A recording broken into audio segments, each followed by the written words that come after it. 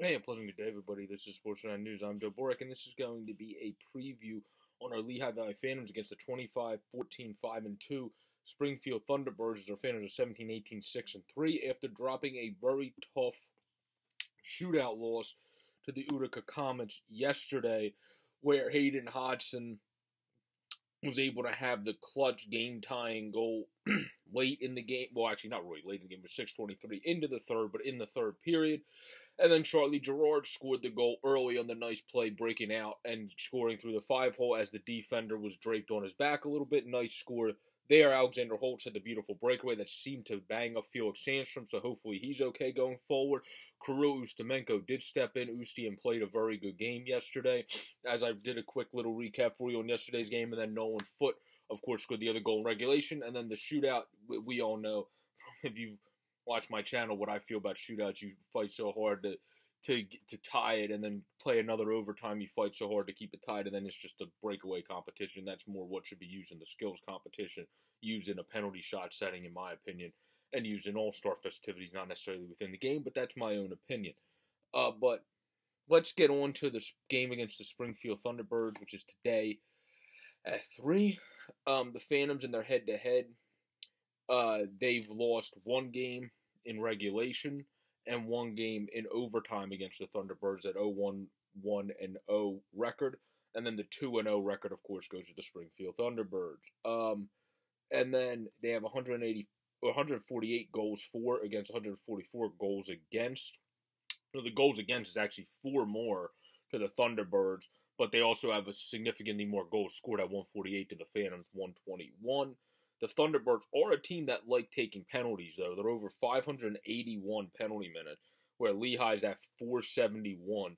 So if the Phantoms are able to, with 6 2 1 and 1 according to 365 in the last 10 to 5 4 0 and 1 by the Phantoms, if the Phantoms are able to take advantage of the power play in this game via how many penalty minutes the Thunderbirds take, it seems like that will be the best route into being able to win this game. If they or faltering and not having the best special teams play, not on penalty kill. That actually has impressed me and been better of late. But on the on the power play side, then that's going to be a struggle bunny, and that's going to be an issue for the Lehigh Valley Phantoms because Springfield, the one thing they will do, albeit being one of the best teams in the league at 25, 14, 5, and 2, is take some penalties and take some penalties that could put you back in the game at time where not all teams have taken advantage of that, other teams have.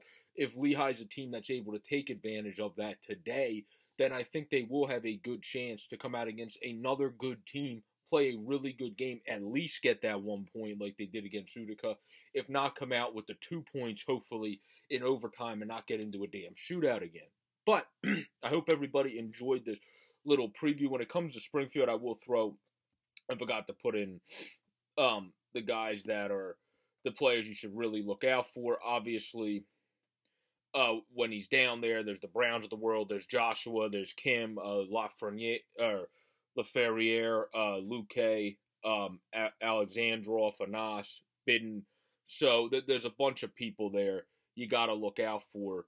Uh, when it comes to them, Santini's always been a good veteran defenseman. Toropchenko, um, is is a very solid forward. Nathan Walker is great. So in terms of the AHL level and a very solid uh, depth guy when he goes up to the NHL level, we see this year with the St. Louis Blues. So this team's deep. This team's riddled in depth. Um, they have Wesley uh, then at defense as well. They got Peca, who's been around the block. So Stevens, who's a very good, solid uh, fill-in player when needed and has played over 20 games. So again, depth for the Springfield Thunderbird. But our Lehigh Valley Phantoms added Adam Johnson. They brought back Maxim Sushko, came back down from the Philadelphia Flyers. Connor Bunnaman's back. And of course, we have Tanner Laczynski came back, who played a great game in his first game yesterday, generating a, quite a few solid chances. So that's very good to see. Guys are coming back at the right time. So yes, the Springfield's really in depth, but the Phantoms are starting to have more depth. Now it's just praying and hoping that Felix Sandstrom, his leg bugaboo, is not a big thing or whatever it did end up being after it looked like he could have got banged up from that Alexander Holtz beautiful breakaway goal. But everybody have a great, safe, and pleasant day. This has been a preview to the Lehigh Valley Phantoms versus the Springfield Thunderbirds after we gave a short recap to yesterday's game against the Utica Comets. Peace out, everybody, and stay safe.